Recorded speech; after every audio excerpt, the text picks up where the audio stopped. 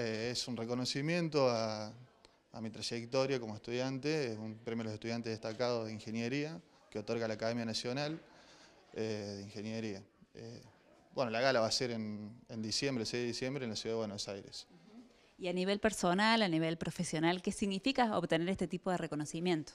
Y bueno, como a nivel personal es un orgullo enorme, estoy muy honrado por recibirlo y a nivel profesional creo que es un puntito más que suma en el currículum que, me va a servir para el futuro, en el, en el caso cuando tenga que buscar trabajo. ¿Cómo fue su trayectoria, su paso por la Facultad de Ingeniería? Eh, fue bueno, qué sé yo, este, disfruté mucho, eh, me esforcé, trabajé siempre para intentar mejorar y bueno, y estoy agradecido a todos los docentes de la facultad, toda la facultad en general, eh, por haberme, por haber colaborado en esta formación, ¿no?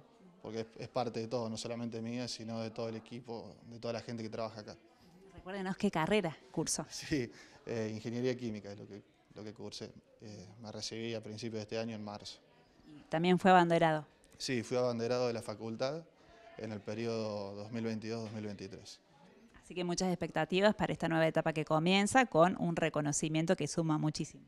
Sí, sí, la verdad que sí. Eh, bueno, espero, que, espero poder comenzar la etapa profesional de una buena manera y poder seguir cosechando éxitos en el futuro. Este reconocimiento viene de parte de la Academia Nacional de Ingeniería, que otorgan estas premias Isidoro Marín con el fin de em, dejar en evidencia a los estudiantes que han tenido un promedio destacado, que han sido destacados en su trayectoria por, eh, a lo largo de sus estudios.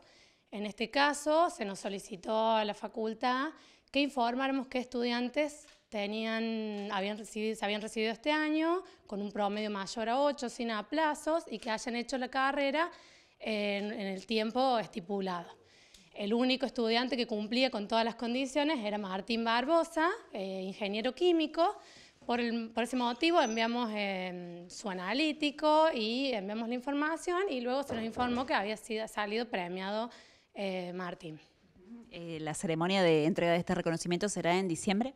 Sí, la ceremonia es el viernes 6 de diciembre a las 6 de la tarde, donde él va a recibir ahí una medalla, un diploma, eh, y bueno, y ahí lo van a agasajar.